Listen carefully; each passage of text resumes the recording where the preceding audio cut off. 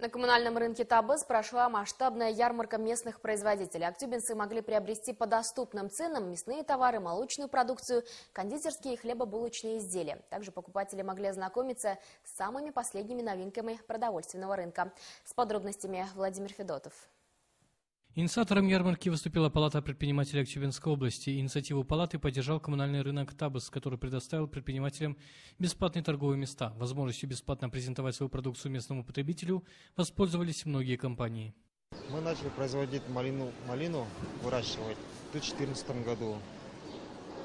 Вот. Тогда вот у нас объем был полтора гектара, вот сейчас вот достигли до 25 гектаров.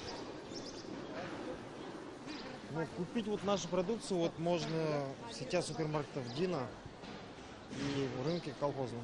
Конкурентов по Казахстану нету. Планируем выйти на экспорт года через два или через год даже.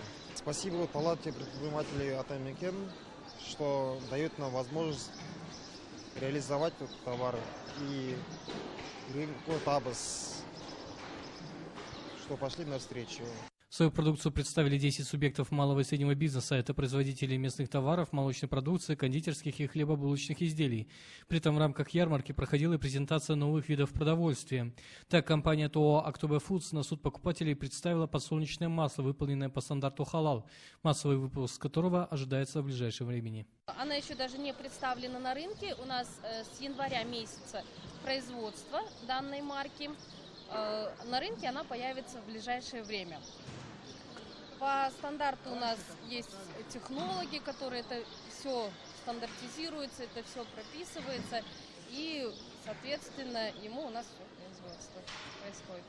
Среди новинок термостатный снежок, варенец, кефир торговой марки Milky Land, произведенный ТОО «Агрофирма Тау». Товарищество на отечественном рынке присутствует уже полтора года, а его кисломолочная продукция уже успешно экспортируется в основной и Южный Казахстан. Также у нас идут сейчас разновидности э, сметан в ведре, это термостатным способом тоже идут разные граммажи, 600 грамм, 500 грамм, килограмм, один, и до 2,5 килограммов. А рынок, как говорится, в Активинской области рынки уже у нас не первый год знают про нашу продукцию. А, очень отличная продукция. Всегда стараемся держать качество на высшем уровне. Густота – это, и как говорится, наш девиз – это заботливая мама. По фабричной цене 660 тенге мясо птицы бройлеров отпускали в ларьке птицефабрики «Акус». В будни здесь распродают 200-300 тонн. В выходные дни реализуются до 600 тонн мяса птицы.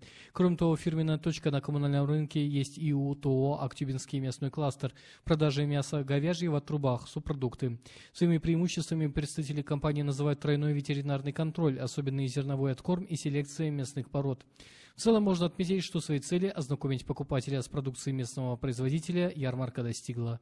Это предоставляет большое подспорье для наших предпринимателей э, в плане того, что их продукция становится более узнаваемой.